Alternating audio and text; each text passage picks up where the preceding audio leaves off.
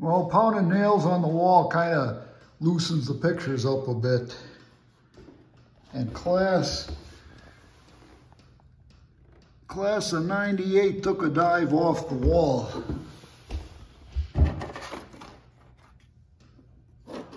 But mostly, it's probably because they were in, some of these pictures are,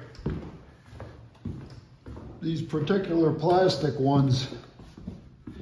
See how this one, this one's hanging on the wall. It's got the hook on that end.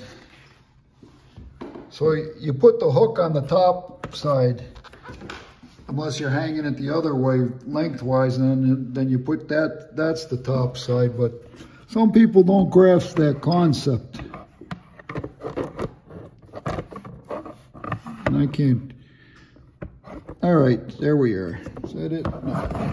Way too high. Crying out loud. Crying out loud.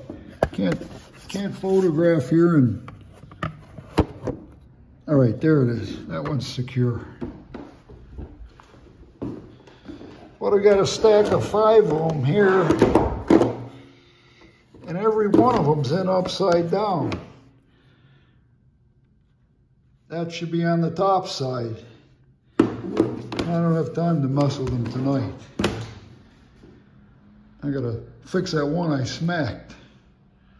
So, almost done here.